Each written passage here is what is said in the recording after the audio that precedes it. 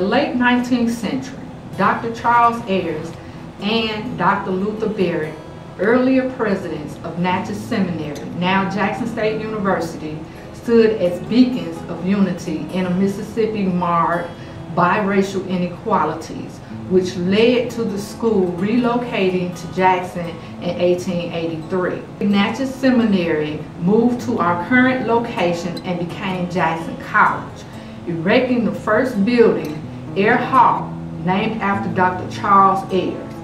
This building cradled Mississippi history as serving as classrooms, dorm rooms, a manual training shop, dean's quarters, and even a haven for preschool children.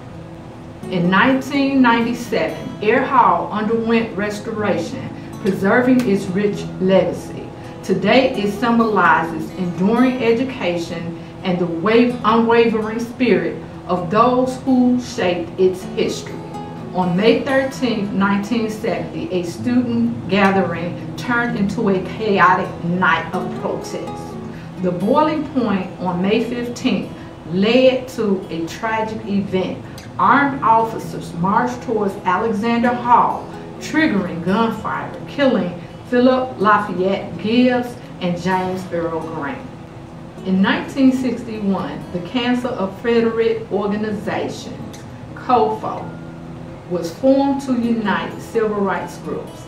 By 1963, it had established its headquarters at 1017 John R. Lynch Street, becoming the central hub for the Mississippi movement. In 2008, Jackson State University saved the historic COFO office from being destroyed and restored it, turning it into an educational facility serving both the university and the community. The COFO building now stands as a symbol of renewal, freedom, justice, and human dignity, echoing its lasting impacts on Mississippi's civil rights narrative.